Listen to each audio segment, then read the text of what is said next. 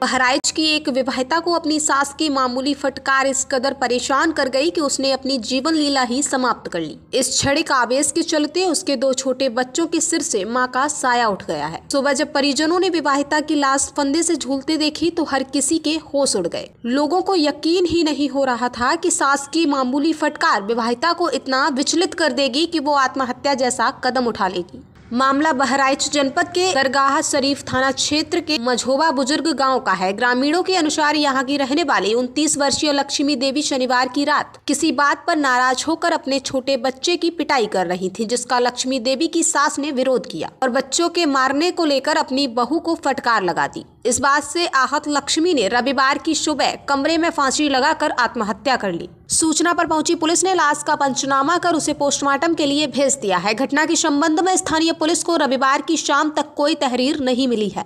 बहरहाल पुलिस जाँच से ही हत्या और आत्महत्या की आशंकाओं की गुत्थी सुलझ सकेगी।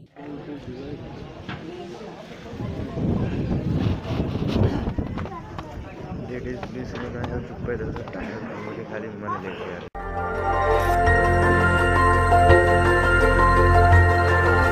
देखते रहिए डीवी भारती समाचार नज़र हर खबर पर।